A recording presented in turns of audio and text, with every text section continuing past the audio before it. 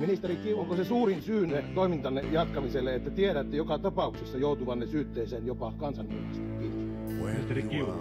Mutta puhemies, edustaja Turtiainen, kaikki mitä tässä salissa sanotaan on onneksi julkista.